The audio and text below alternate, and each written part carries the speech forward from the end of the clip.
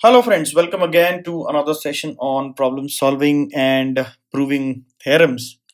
So in this theorem, it's given that there are three or more parallel lines and they are intersected by two transversals. We have to prove that intercepts made by them on the transversals are proportional. Okay, so I have shown it in a diagram. So P and Q and R are parallel to each other. So let's write given first so given what is given P is to P is parallel to Q is parallel to R. Three lines are parallel to each other. Okay. Now L and M, L and M, small m are transversals. Transversals. Right. Now uh, what is to be proven? So to prove, we need to prove that AB by BC is equal to dE by EF. This is also called intercept theorem, right? So any, uh, I have shown only three lines, but you can go for four lines, five parallel lines and all that. So the intercept, so what is an intercept? Intercept is nothing but this is called an intercept. So this is an intercept. This is also an intercept. So these are all intercepts. So these intercepts are proportional. That's what we need to prove okay? So let us do some construction. So again if there are ratios involved you know the best tool in our uh, quiver is the basic proportionality theorem. So let's try and prove that using the basic proportionality theorem only okay? So how to go about it? So you know that in basic proportionality theorem you need to have a triangle and there must be a line parallel to the base and then you can write the ratios equal right? So here you can see ratios are there lines are parallel. We have to achieve some ratios inequality. So hence we need to first find out a triangle yeah appropriate triangle to establish or to apply bpt so what i'm going to do is i am going to do a construction where i am going to draw a line like this which is parallel to m passing through like that. So what is the construction? Construction is uh, let's call it lmn right? So let's call this line as n. So n parallel to m drawn right? And it is intersecting the pqr at n uh, points a and let's say uh, g and h. Okay? G and h. Now what can we what can we say?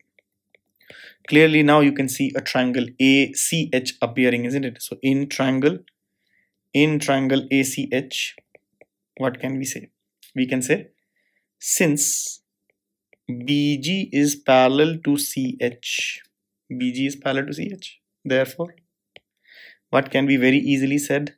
AB upon BC is equal to AG upon GH and this is because of BPT basic proportionality theorem. Right? Now somehow if I prove that AG by GH is equal to DE by EF then my game is over. Isn't it? That's what we need to prove. So AG by GH somehow is equal to DE by EF which is indeed so. Why? Because if you look carefully what's here? If you see N is parallel to N is parallel to M as well as M uh, P is parallel to Q. Therefore, what can we conclude? We can conclude that ADEG is a parallelogram. Is a parallelogram. I hope there is no doubt in this. Correct?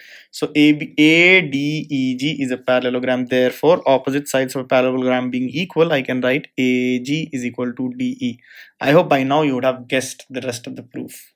Isn't it? Similarly, write the word similarly. Right. P again L is oh sorry N is parallel to M. N is parallel to M and Q is parallel to R.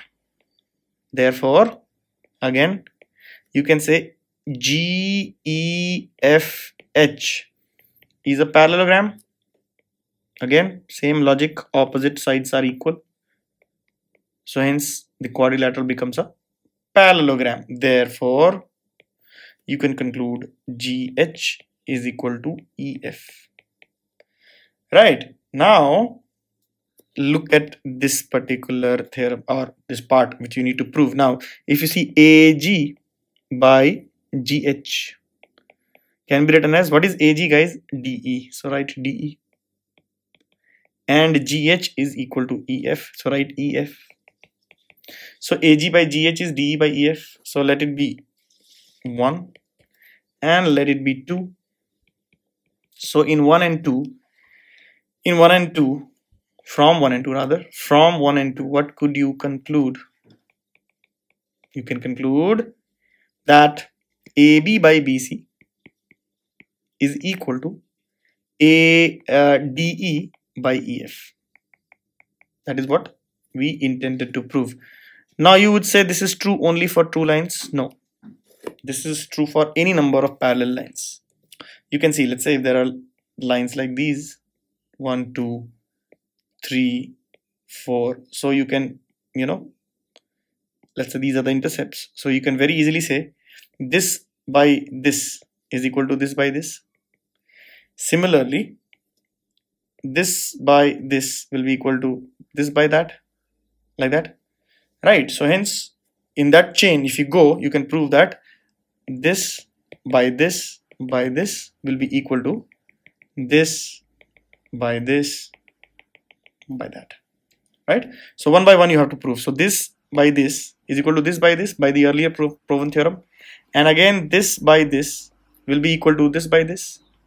So like that the chain will continue. So you can see that all the intercepts will be proportional. So it can be validated or it can be established for more more than three parallel lines as well. Okay? So here was the proof of this particular theorem which is also called intercept theorem